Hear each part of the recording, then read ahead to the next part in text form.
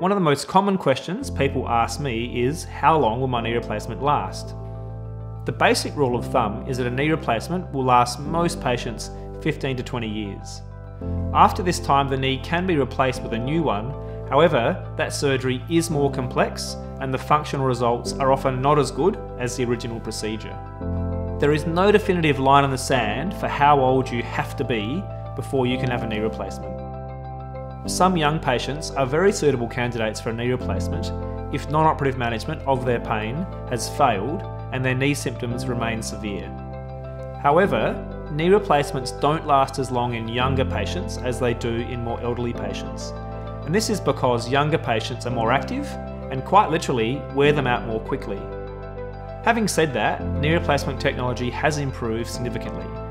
If you are 50 years of age and have a knee replacement today, there is an 80% chance that your knee will still be functioning well and not require revision surgery 18 years after your surgery.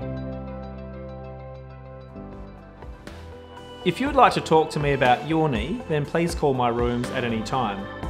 If you haven't already had appropriate scans, I can easily arrange for these to occur before your appointment.